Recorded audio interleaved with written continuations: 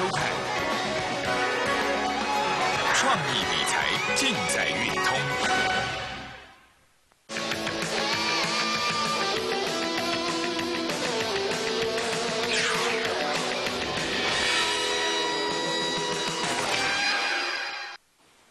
各位观众朋友，大家好，欢迎收看股市伯乐，我是陈维博。那今天的时间来到了十月十三号，台北股市今天拉回，今天拉回幅度，今天下跌了三十三点。从整体的一个盘面结构来看，哈，整个台北股市它还是属于这样的一个横向区间，属于整理盘势啊，好，并没有脱离这个整理盘势。但是每一次行情如果出现了变化，伯乐指标都会先告诉我。不晓得各位有没有发现，今天的车标不一样了？前天的时候，伯乐指标是向上；昨天的时候，伯乐指标是持平。但是今天我必须告诉各位投资朋友，今天台北股市伯乐指标转为向下。大盘其实没有跌多少啊，大盘今天才跌三十三点而已，但是方向改变了。每一次只要伯乐指标向下的时候，微博在节目上面都会跟各位提醒。风险这两个字，好，也就是说，很多人还跟各位讲啊，要要要买股票，要怎么样怎么样怎么样，不是不可以买。等一下，微博会从股票部分来做一个分析，而是你现阶段只要不日指标向下状况下，你在买股票，在操作股票过程当中，你反而要特别小心，你那个风险意识你要把它提高哦，不要不能不能像以前这样子，呃，涨了就去追还是怎么样？目前台北股市。因为不日指标向下，它的风险性已经提高了。那各位可能不晓得说不日指标向下是什么意义，我跟各位做一下说明。当不日指标如果出现是向下，它会有几种可能。第一个，它会盘整，好，也就是说，可不可能继续在那边盘整，也是有可能的。好，第二个，它会盘跌。第三个，它有可能会波段下跌。第四个，股票部分哦。它就有可能出现跌停板。那目前为止，它到底是会盘跌、会波段下跌，这个我都不知道，我没有办法给各位承诺，因为盘市每天都要去观察的。但是，不论指标只要一旦向下，他跟我讲了，就是你必须要有风险意识。为什么？日线不日指标判断趋势，三十分线不日指标判断短线，对不对？来，我直接给各位看期货的部位就好了哈。今天台子期跌了五十六点，这是今天台子期的走势，这是台子期的不日指标。来，我给各位看哦。这是今天一百零五年十月十三号，对不对？好，我们拉近一点好了。动能线八十，趋势线八十一，前面这一段时间都是向上的哦，没有问题，对不对？但是各位，很明显八十跌破八十一，这是今天，我们看一下今天的日期。没错哈，这是台子期。好，但是最近我有跟各位同事朋友讲，台北股市是不是最近涨一天跌一天？你看，最近其实都是在横盘啊，跌下来又上涨，上涨去又跌下来，跌下来又上涨。昨天涨，今天又跌。为什么最近是属于一个横盘的架构？我是不是之前又跟各位投资朋友讲，短线部分要用三十分线来做一个判断？所以当三十分线如果向上的话。短线它会上涨，当三十分线如果向下的话，短线会下跌。这是在指数部分。那我请问各位，今天指数都是跌的吧？昨天指数是涨的，啊，为什么今天是跌？为什么昨天是涨？所以这部分的话，你只要有一个依据，把它切换到三十分线，你就得到答案。这是昨天，昨天微博节目上有跟各位讲做过说过了。昨天的指数为什么上涨？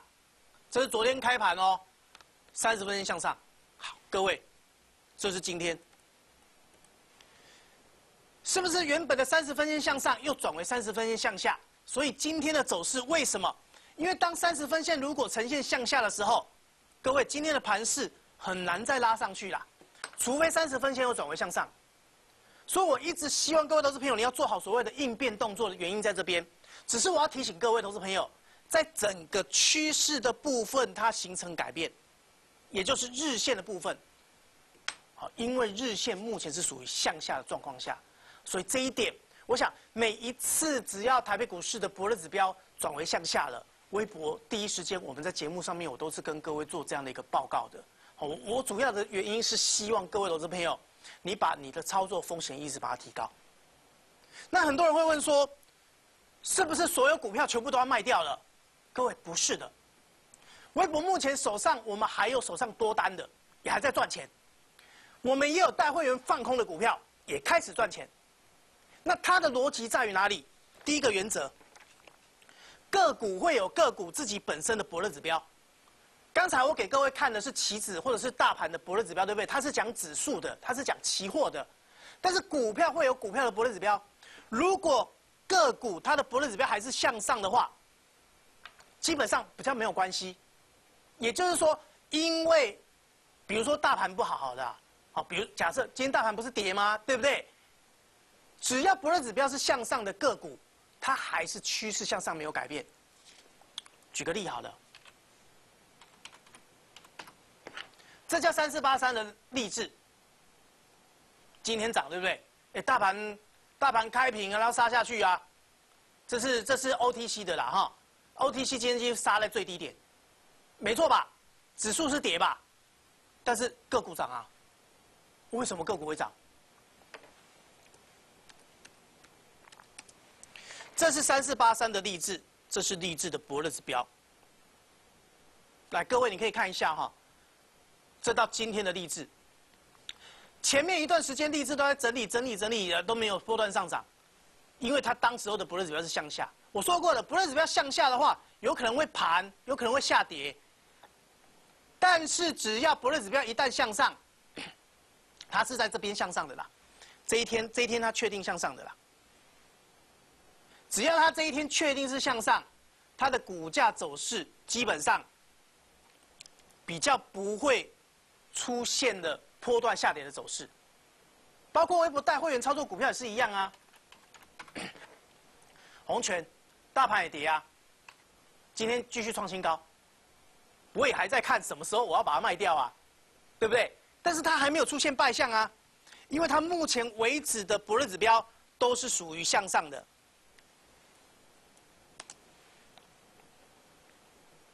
对不对？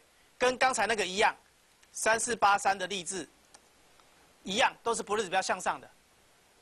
所以你会发现，当励志博日指标向上的时候，它才会涨；向下的时候，它不会涨。啊，一样啊。博日指标向上股票都还有机会表现。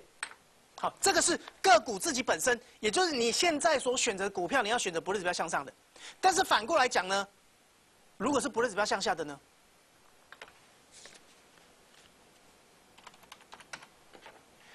这一档叫五二六九翔硕，对不对？之前我跟各位讲过了，翔硕因为它的基本面很好，所以它之前走了一波。但是各位投资朋友，我请问哦，为什么翔硕今天打跌停板？你知道原因吗？我给各位看证据，因为我微博跟各位解盘，我每一个不管是指数部分还是个股部分，我都给各位看证据。这是五二六九翔硕，今天打到跌停板。为什么今天会跌停板？来，各位，这是祥硕哈。我们回到昨天的祥硕就好，好不好？我们可以拉近一点，这是昨天一百零五年十月十二号，昨天哦，这是昨天哦，昨天祥硕没错，对不对？好，昨天祥硕基本上还是维持在这边，但是它方向其实已经早就改变了。各位有没有看到？我们从那个博日这边来看，昨天是九十一、九十三，请问是向上还是向下？这个才叫向上啊！这个不是向上，这是向下，所以其实昨天就已经向下了，不是到今天而已。那今天因为它的走势可能疲弱还是怎么样，它直接打到跌停板。所以我我有没有跟各位讲说，第一个原则就是说我们要避开不日指标向下股票。这段时间以来，微博都有在卖股票啊，你会发现如果没有卖的话，比如说好了啦，六一的一个金策啦，对不对？我们是在九月二十二号这一天呢，来各位，之前金策走多头，我们做多，但是九月二十二号这一天，我发了一通讯息，我把金策在一千一百七十元左右市价获利卖出。好，九月二十二号这一天，为什么我要把它卖掉？各位不就是伯乐指标向下吗？那各位想看啊，如果我这天没有卖出的话，那各位怎么办？我请问各位怎么办？今天跌破一千块了，那你说卖掉到底是好还是不好？那为什么微博知道要卖掉？其实这个不是只有微博可以知道的啦，这个哈包括我们的一个客户或者包括会员本身用博乐指标的话，大概都会知道啊。九月十二号这一天呢，我们可以拉近一点。这一天出现什么状况？这一个就是在这边，动能线九十一点零五，趋势线九十一点三九，黄色有没有跌破？有，确定跌破这一天。所以当这一天确定跌破的时候，这个时候股价还有多少？当天还有一千一百五十五块，但是我们那一天的时候是在十一点四十二分的时候，一千一百七十元把它做卖掉。好，各位，你觉得呢？到底是卖对还是卖错？因为它不是指标向下的嘛，对不对？我是不是跟各位讲要避开不是指标向下的？不止啊，包括三零三二尾讯。好，三零三二尾讯。尾讯我们是在十月七号这一天，这一天卖掉的。之前也是因为博日指标向上，对不对？好，各位，这是十月七号，因为三零三二尾讯有没有？也是因为博日指标向下，所以我们把四十点四元买进的多单在四十八块，就四十块买的，你四十八块你要卖啦，因为四十八块不卖的话，各位今天尾讯跌到是四十三块，所以这样一来一回价差五块钱，你觉得值不值得？这个绝对不是我的专利，而是其实各位都可以发现到的。这是尾讯，为什么尾讯这几天又会跌下来？我们之前做多做尾讯是做这一段，因为这一段不是指标向上，所以我做多这一段。但是它方向改变了，我们是不是要卖掉？阿里，如果你不卖呢？我请问各位怎么办？对不对？一来一回这样子差五块钱，四十八卖掉。到今天四十三，所以微博要跟各位投资朋友讲，第一个逻辑是，因为目前大盘它有可能产生的风险性，个股会有个股自己本身的博日指标，所以选择个股要选择博日指标向上的，但是向下的你要先避开。这只是其中的一项而已哦。更重要的一点，来，之前微博曾经跟各位说过，我说一档股票会不会涨，它跟基本面有绝对绝对的关系，对不对？我跟各位投资朋友讲，如果你目前所选择的个股是基本面差的，我建议各位在操作上一定要特别特别小心。为什么？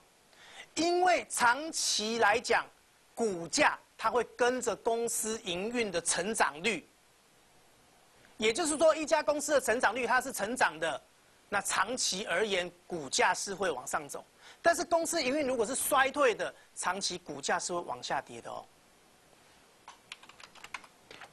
三二零五百元，我请问各位，大盘其实这一年以来是走多头，为什么百元它就是就是你会发现，就算涨上去又跌下来，涨上去又跌下来，它是长期一个空头的股票，那是因为基本面。我给各位看。这百元，这是百元的公司营运成长率。各位有没有看到，它从原本的两百三十四趴一直降降降，降到最新的九月份是六十四趴。这很明显看得出来，早就看得出来趋势衰退了。趋势衰退的公司股价当然是这样走。所以微博一直跟各位讲，我们要买的股票买什么？要买有基本面的，对不对？不止啊，其实非常非常多啦。举个例。你看这个巨阳也是一样，长期来走的空头，对不对？大盘今天才不是比较向下，昨天以前都是向上的，而且大盘还在九千二哎。但是各位有没有发现，你买到股票，如果你是买到不对的股票，它公司本身营运是在衰退的，就变成这个状况。不止，来各位，这叫四一三七的立丰。现在叫立丰 KY，以前叫 F 立丰，三百八十三块跌到现在剩一百五十一，为什么呢？大盘涨它都不涨，因为它的基本面没有办法支撑它公司的一个股价，它公司的一个营运循环并不是向上走的。从博乐指标基本资料里面都可以看出成长率，各位，它是衰退还是成长？它如果没有成长以前，你怎么可以买它呢？所以。接下来很重要一点哦，我也不要跟各位投资朋友讲哦。如果你现在手上股票是基本面是在正在衰退的，我建议各位，你应该要利用机会，比如有涨的机会来做所谓换股的动作，不然我我无法跟各位说到底基本面衰退的股票它的低点在哪里，它的支撑在哪里。如果公司一直衰退，一直衰退，一直衰退，我请问各位，现在有人问我说，乐升的支撑在在哪里呀？乐升一个月前还有一百块呢，现在剩十五块啦。我们如何分析这样的支撑给各位？那个都是技所谓的技术分析，但是微博要跟各位讲，基本面才是掌握一家公司长期是走多还是走空的主要因素。我想我们先休息一下，微博等一下会让各位来看。我找出好多公司都是在衰退的，我希望各位投资朋友在现在这个时间点应该好好去检视一下。我们先休息一下，马上回来。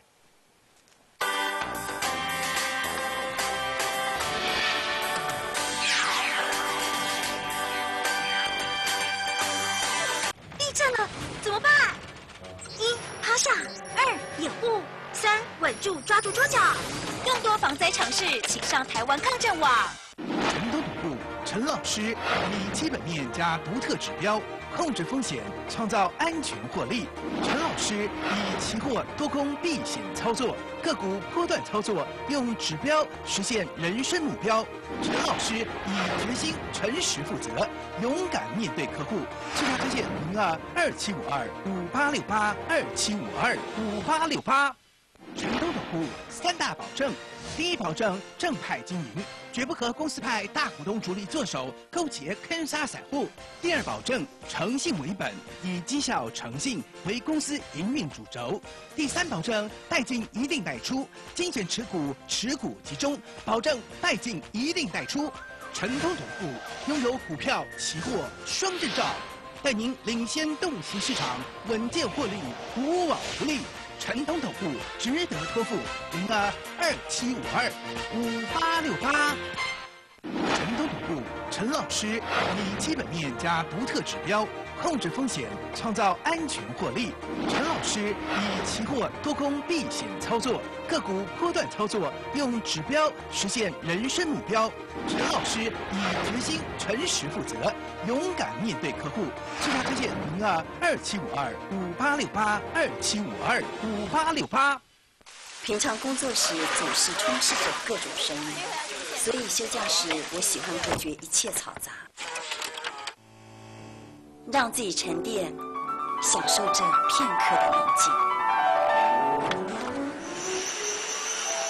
Choose your own life，鹅牌气密窗。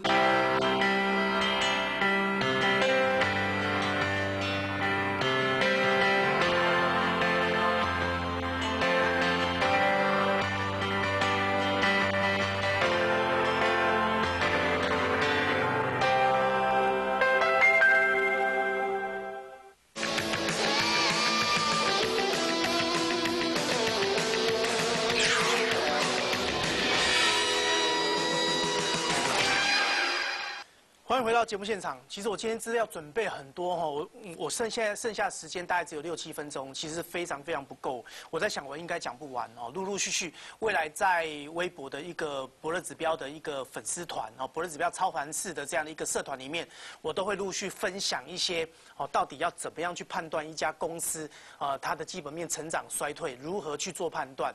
那我我尽量我尽量把时间哈简短做运用，让各位了解一下哈。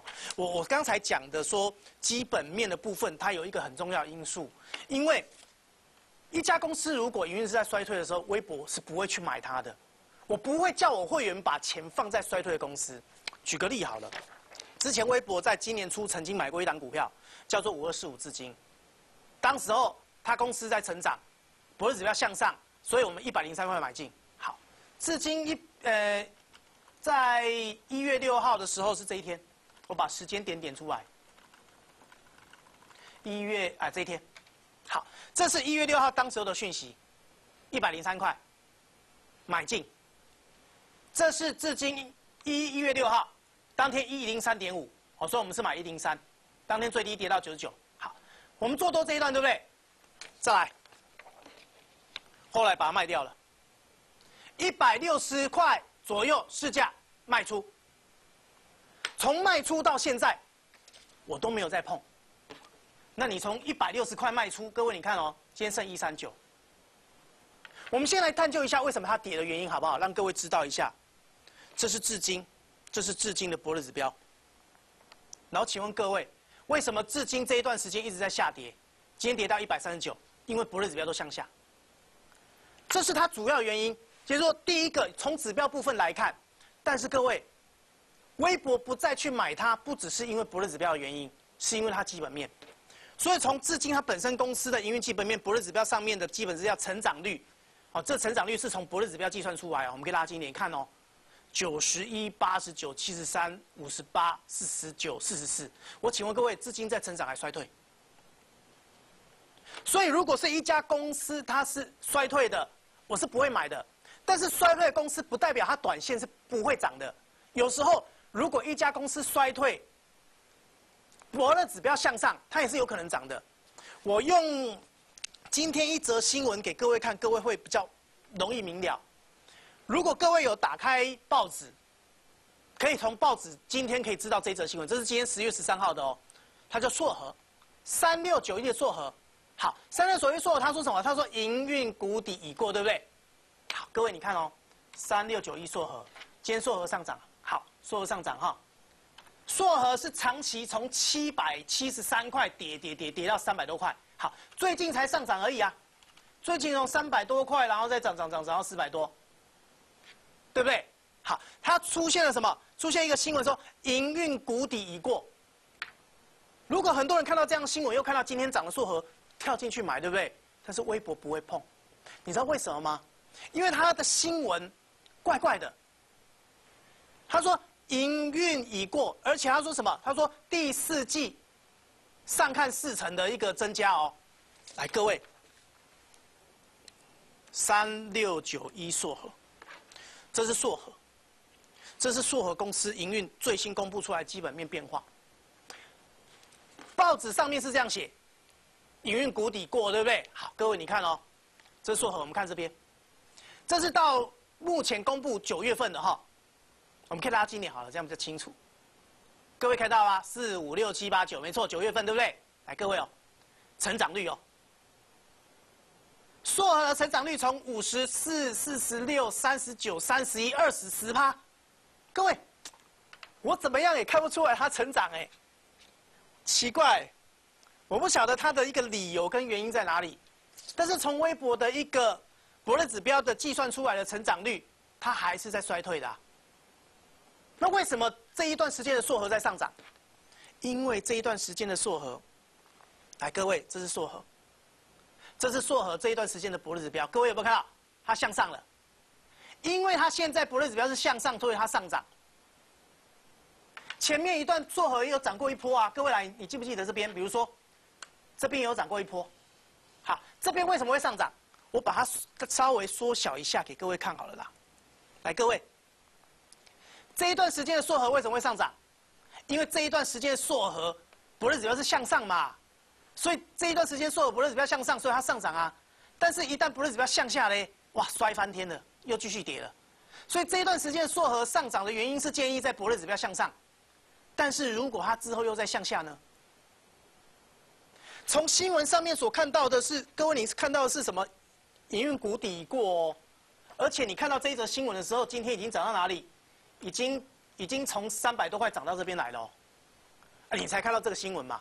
但是微博教各位看的基本面的方式不是这样子判断的，我们是真正去用公司营运去计算出来公司的成长率，它并不是成长的。所以像这类似公司，微博并不会叫会员去买。你会发现有很多股票都是这样子，基本面不好，但是只要博日指标向上，它一样会涨。今天的华星光不是涨了吗？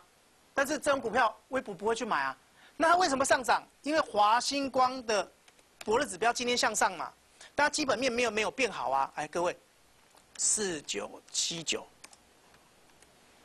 稍微把它放大一下，各位是不是今天向上？所以今天向上，华星光今天涨啊，但是从基本面来看的话，它没有变好啊。各位懂我意思吗？哦，我的时间其实很不够啊。你知道我今天要跟各位讲，有很多股票都是这样子，你看。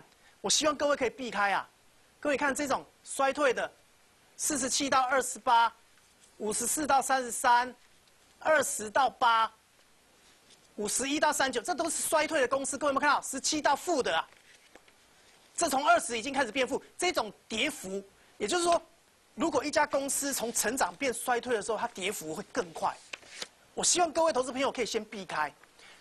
或者是像我们一样，我们也可以选择这样个股去选择做放空。我们已经陆陆续续带会员开始开始操作了。我只是希望各位投资朋友，你要提高风险意识，哦，要小心谨慎一点。好，那我们齐家股的专案，希望可以帮助到各位。那我们今天节目进行到这边，感谢各位收看，祝各位操作顺利。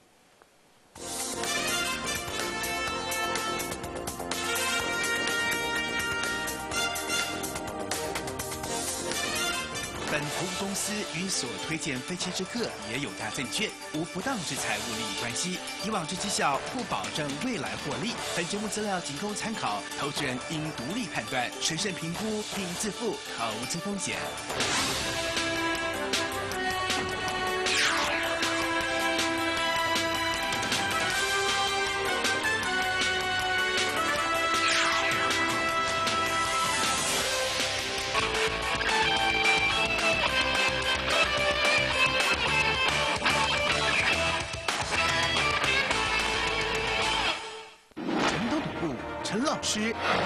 面加独特指标控制风险，创造安全获利。陈老师以期货多空避险操作，个股波段操作，用指标实现人生目标。陈老师以决心诚实负责，勇敢面对客户。最佳推荐零二二七五二五八六八二七五二五八六八。成功总部三大保证：第一，保证正派经营，绝不和公司派大股东主力做手，勾结坑杀散户；第二，保证诚信为本，以绩效诚信为公司营运主轴；第三，保证带进一定带出，精选持股，持股集中，保证带进一定带出。成功总部拥有股票、期货双证照，带您领先洞悉市场，稳健获利，无往不利。陈东总部值得托付，零二二七五二五八六八。今天来到这古色古香的地方，要带大家远离尘嚣。嘎嘎嘎，蚊子这么多，小心感染登革热。大家一起来清除滋生源。盆栽底盘、宠物饲料容器要经常刷洗干净，避免蚊卵附着。屋后沟、屋顶排水槽每周清理，不阻塞。菜园储水桶要加盖，不使用的桶子要导致晾干，避免再次积水养蚊。瓶瓶罐罐要倒干净再回收，预防登革热，清除滋生源。大家一起来，Action！